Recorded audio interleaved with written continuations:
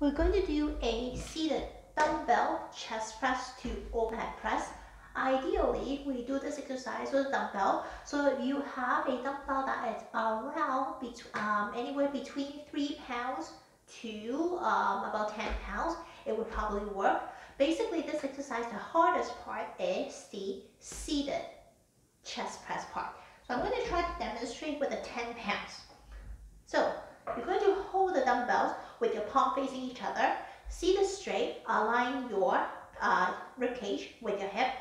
Push it to the front, bring it back, and an overhead press. Once again, to the front, to the chest, overhead press, palm facing each other. So for me, even with the 10 pounds, to do an overhead press, it's pretty easy. However, that weight to actually push it to the front 10 pounds, I was really struggling. So chances are you're probably going to need a dumbbell that is a lot lighter. Another option that you can do is that you can also do this exact same exercise with two water bottles. So over here I have um, each of them that is um, 710 milliliter, which is approximately under two pounds. So same idea, you hold on to the water bottle nice and secure, push it to the front. You should feel that your, uh, the front of your shoulder working hard. Bring it back, push it to the top. So if I am seated to the side, you can see how I'm not arching my back. Front, back, and up.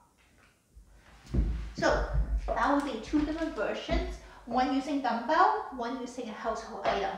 We have one more version that you can do if you have a long resistance band. So what I would do is I would take the resistance band and lay it across the hard surface that I'm going to be seated on and sit on top of the resistance band.